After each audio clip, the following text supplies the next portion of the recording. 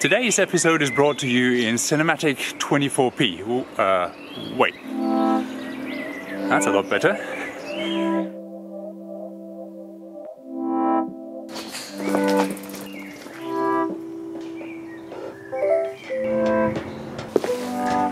About one year ago, I started this vlog to explain what I'm doing, and I realized that I didn't really do explain what I'm doing.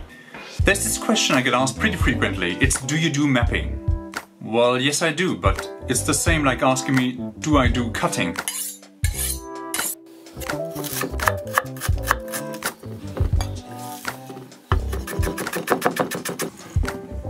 Only because I'm familiar with one of the basic skills for cooking, it doesn't make me a great chef. There's also a lot of other knowledge and skills that you have to bring into the business to be a great chef. Same goes for mapping.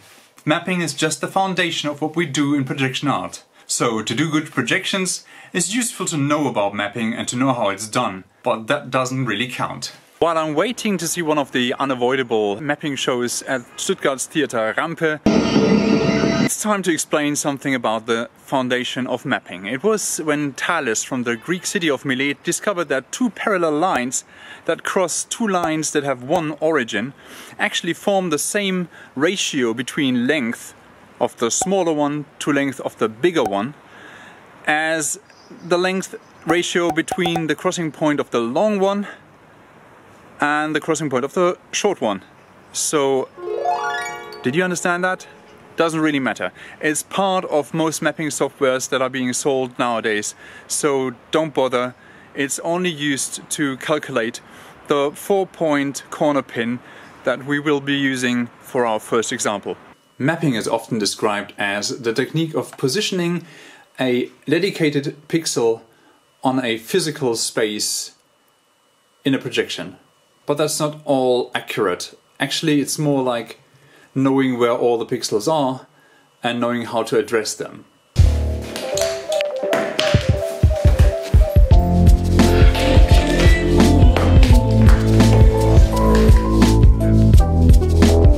You will find out that the ratios are an important thing in mapping. You might want to be sure that the ratio measured in real life is the ratio that you set when you create your footage.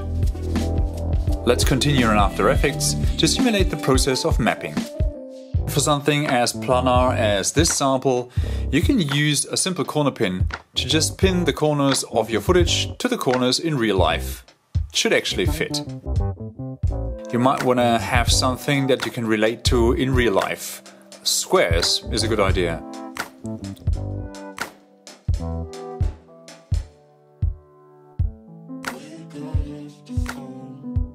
If you're mapping on something bent, most software offers a Bezier curve mesh, which you can actually use to bend your footage to whatever is there. All those mappings are pretty simple because they are done on something rectangular with four corners and only bend in one dimension. It's getting a little more difficult if you try to map on something like this. The first thing you might have noticed about this concrete bowl is concave. So already now our projector is dropping a huge shadow. We have to find a new position for the projector. Let's pretend we build a object-based mapping with an orientation to an audience.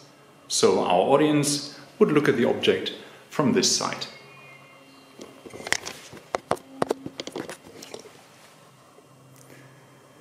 Now after adjusting our projector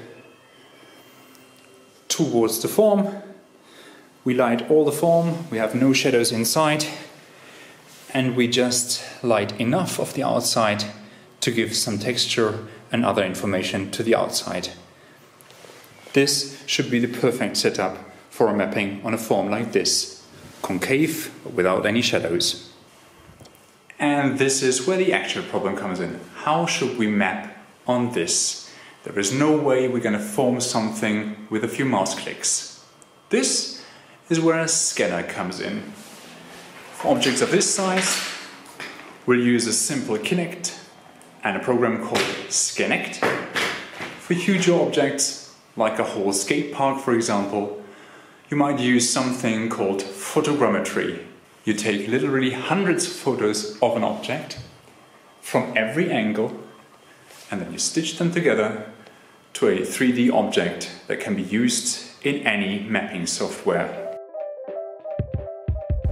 Let's continue in After Effects to pretend we're using a system that is actually mapping using a virtual camera. We put our 3D camera in After Effects where our projector is sitting in relation to the object we're mapping on. And this is where it becomes really difficult. You have the focal length of your camera, either the real one that you're using to film or the virtual one that you're using in your 3D software. Then you have the focal length of the virtual camera in your mapping system. Then you have the focal length of the virtual camera that you may be using as a point of view of your projector. And you have the focal length of your projectors in real life that you can't determine because you only have the ratio for the projection. The ratio of a projection lens is given in distance to the object you're projecting on and width of the image. In this case, from one meter distance, I'll get a 68 centimeters image. So divide 1 meter by 68.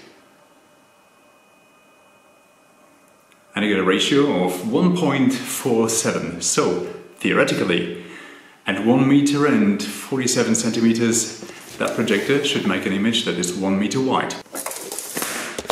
And that seems good enough. You might want to ask, why do I measure the ratio of a projector that I just bought? So most times when you use bigger projectors and they have a zoom lens, you can't really determine what ratio you're at.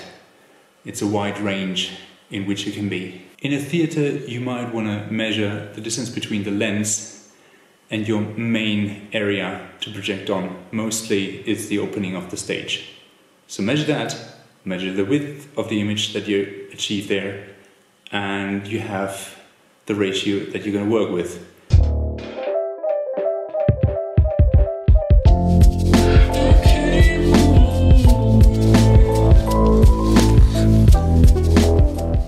Doesn't seem like a big achievement, but still it's a UV mapping on a concave form. And now for a 3D effect for the audience, we should actually move our virtual camera inside the mapping software using from this position to the audience position. And this is where the problems start, because not everybody's sitting in the same spot. Also, virtual cameras sometimes introduce something called virtual shadows.